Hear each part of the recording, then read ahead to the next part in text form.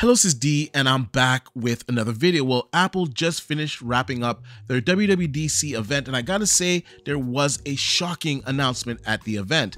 Now, they went over the typical things the iOS update, new features, new widgets, whatnot coming to the Mac, and as well, of course, the iPhones and iPad line. As well, they announced some new MacBooks.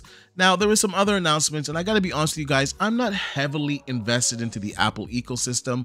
I do own an iPad, and that's pretty much it. I think I have Apple TV as well. Well, I subscribe to Apple TV Plus. Whatever the subscription program is for TV shows, I do have a subscription to it. But apart from that, I'm just not really invested into the ecosystem. I'm mostly a Samsung guy, but I gotta be honest with you guys, at the end of the event, they did reveal a device that really captivated me, and I think captivated gamers, uh, content creators, uh, media consumption people all around the globe. Now, of course, Apple finally announced its entry into mixed reality VR with a VR AR headset, and I gotta say, this may change a lot of things. Now, VR is kind of struggling to get mass adoption. Don't get me wrong, I think VR is awesome.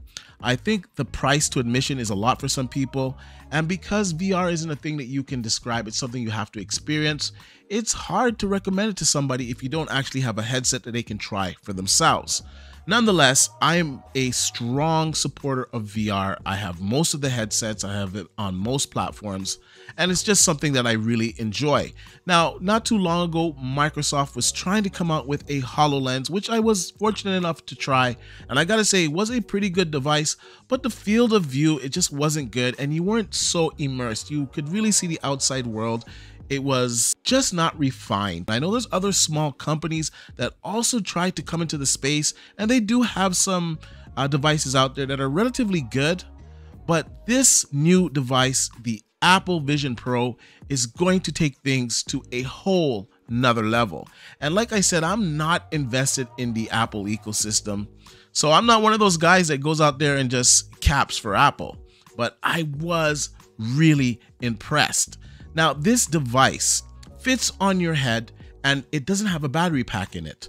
A battery is attached from the side of the device, which goes into your pocket. So it's like a power bank with a long cord, which really is going to add to the comfort of the headset. Because if there's one complaint that I have on most of the headsets is that they are kind of front heavy. Now I have bought some third party or aftermarket stuff to put on my headsets to make it more comfortable, but you still feel like you're wearing a device. Now, my impression from this device is that it's very light and you're not gonna feel like you're really wearing anything, maybe like sunglasses, which is gonna add to the comfort, especially if you're gonna spend a lot of time in VR like they want you to with this Apple Vision Pro device.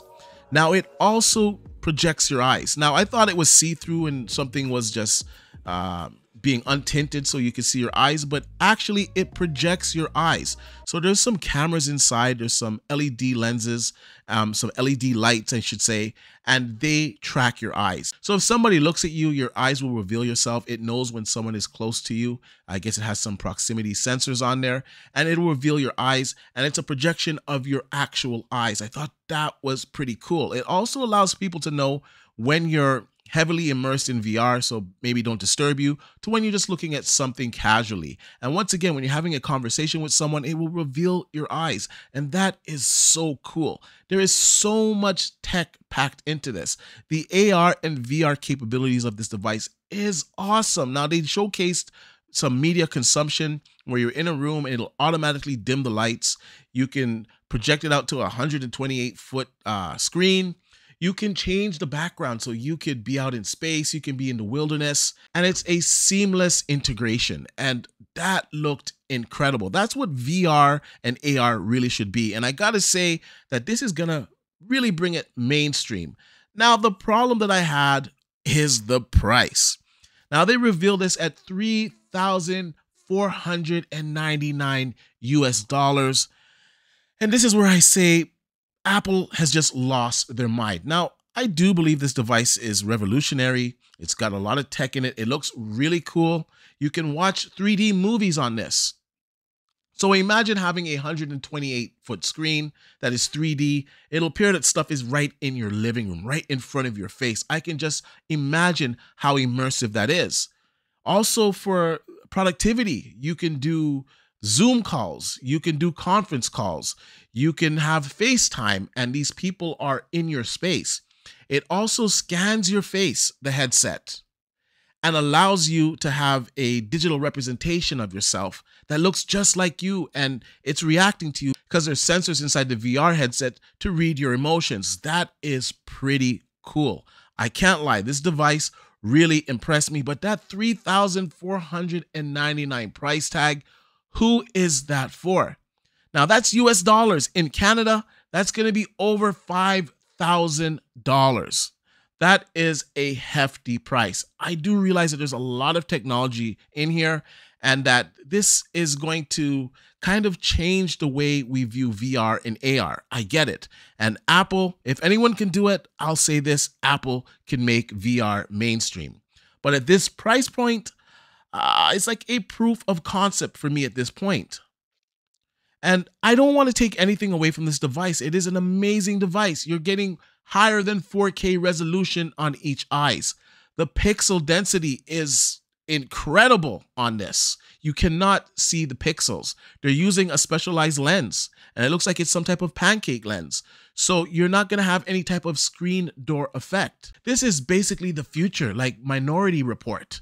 This is some next level stuff. So I get it but the price point of $3,499 has soured me right away on this device. I went from day one, oh my gosh, I gotta get this. What's the price gonna be? To oh my god, that's the price. I'm gonna have to pass on this. I'm gonna have to wait till I get it like used or something. This is ridiculous.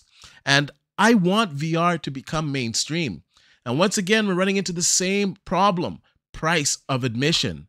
Most people cannot afford $3,499 on a VR AR headset. And I don't think any AR VR headset is worth that price. Objectively, I could say, okay, maybe this is worth $1,500. I think $1,000 really, but let's say $1,500 just because it's Apple. But 3,500 US dollars, that's just an insane amount, even if the technology is groundbreaking. I just think it's an insane amount. And I know there's going to be some early adopters that just go out there and grab it. Of course, you're going to have content creators that grab it and a lot of devout Apple fans that will get it day one. But the mainstream people, the average user, the casual, they're not going to be able to afford this device. Once again, we run into the same problem of VR not penetrating the mainstream. I think if any company wants to truly succeed in VR, First, you got to make a fantastic device with experiences that you cannot get anywhere else. Top of the line hardware, but it has to be at a reasonable price. And 3,500 US dollars, in my opinion, is nowhere near being a reasonable price. Anyways, I want to know what you guys think about all of this. I think it's fantastic. The productivity um, that you can achieve with this device is crazy.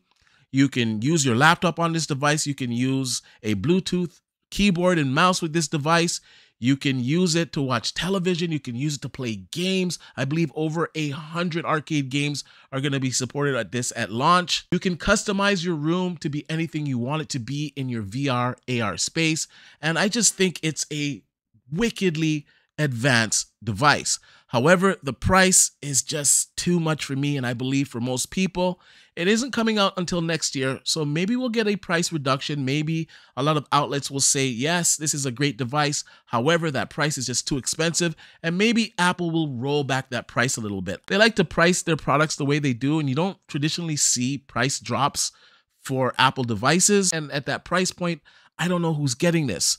So hopefully things can change. Hopefully we can get maybe a device that's not as advanced, maybe doesn't have as much sensors, maybe a lower resolution at a cheaper price point. Were you impressed with the VR headset? Are you going to get this VR AR headset day one? Let me know in the comment section down below. And like I usually say, please like, share, and subscribe to the channel. And I'll see you guys on the next one.